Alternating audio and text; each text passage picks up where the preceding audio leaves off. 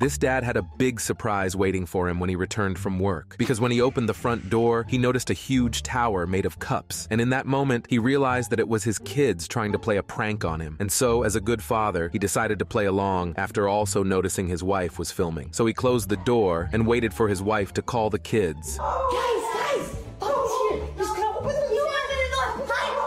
The kids then watched as their father displayed his best acting skills, pretending to be amazed by the cup castle before subsequently falling on it, making all of his kids laugh uncontrollably. Yeah!